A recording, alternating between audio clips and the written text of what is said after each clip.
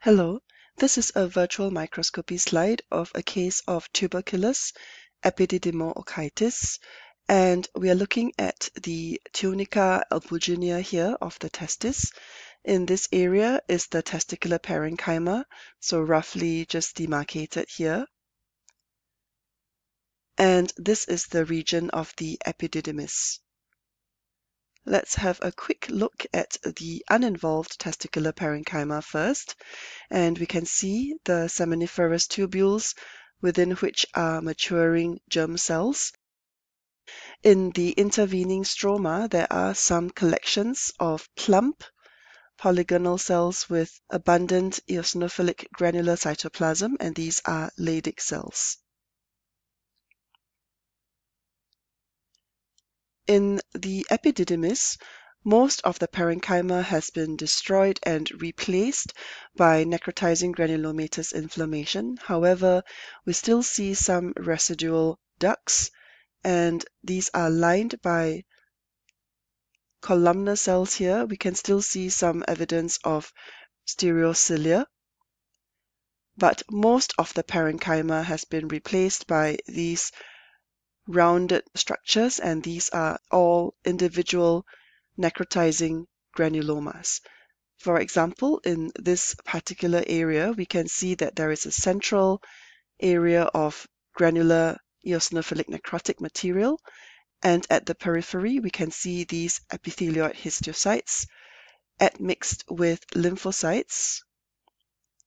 And if we move around, we can see numerous multinucleated giant cells. Some of these will have the nuclei arranged in a horseshoe configuration, for example, this one, as well as this cell here, and these are known as Langhans giant cells. Langhans giant cells are frequently seen in TB, however, they are not specific for tuberculosis. Moving around, we can see again many eye-catching Langhans giant cells within epithelioid granulomas. And here is an area of coalescent granulomas with a very large area of necrosis. The necrosis appears as granular amorphous eosinophilic material, and in some areas with these degenerating cells or dying cells with lots of pycnotic and karyorrhectic nuclei. This necrotizing granulomatous inflammation has spread into the testicular parenchyma, as you can see here. And a similar process is present amongst the seminiferous tubules of the testicular parenchyma proper, where again we can see this central area of necrosis surrounded by viable epithelioid histiocytes and peppered with many of these Langhans giant cells. Let's learn a bit more about tuberculosis of the testis. TB of the testis often occurs as a result of hematogenous spread from the bloodstream, and often the original site of infection is the lung. Uncommonly, it can also be a result of spread from the urinary tract structures, including the prostate and the bladder. These patients, whether they have epididymitis or epididymo-orchitis, can present with a unilateral scrotal swelling, and this swelling can mimic malignancy both clinically as well as on imaging. There may also be associated pain in the scrotum, which can radiate to the groin or lower abdomen. And if untreated, there may also be the complication of sinus tracts forming within the scrotal skin. This is an example of TB epididymitis, and the case that I showed you on the virtual microscopy slide shows not only involvement of the epididymis, but also involvement of the testis, giving rise to epididymo-orchitis. There may also be associated hydrocele, and sometimes patients may experience systemic symptoms of fever, weight loss, and night sweats.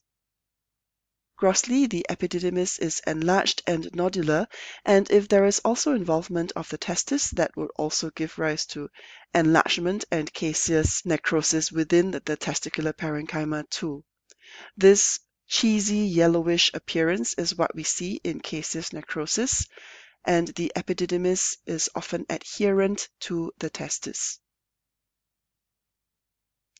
There is a separate video describing the gross features of TB epididymitis on a virtual pathology specimen, and this can be found in our free online pathology resource, Pathweb.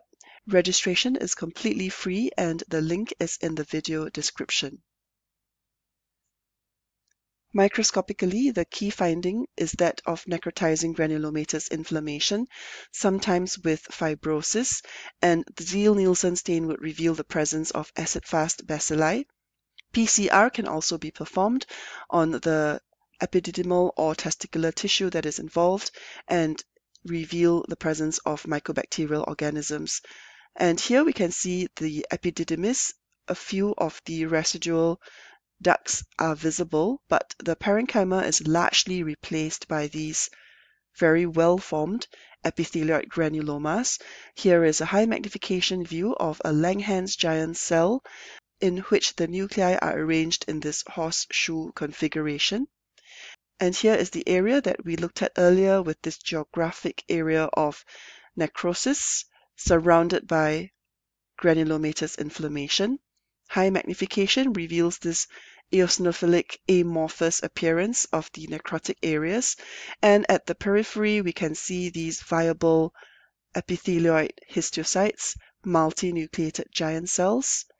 Here again are areas of granulomas where you can see very, very prominent Langhans type multinucleated giant cells. And we can see some residual ducts from the epididymis that are viable in between the large granulomas. And here is a higher magnification view again, showing some residual ducts. And here is a granuloma where the epithelioid histiocytes are seen in aggregation together with Langhans type giant cells. Hence, in summary, this is a case of tuberculous epididymo-orchitis in the testis where we can see necrotizing granulomatous inflammation within the epididymis and that has spread to involve the testicular parenchyma. Thank you.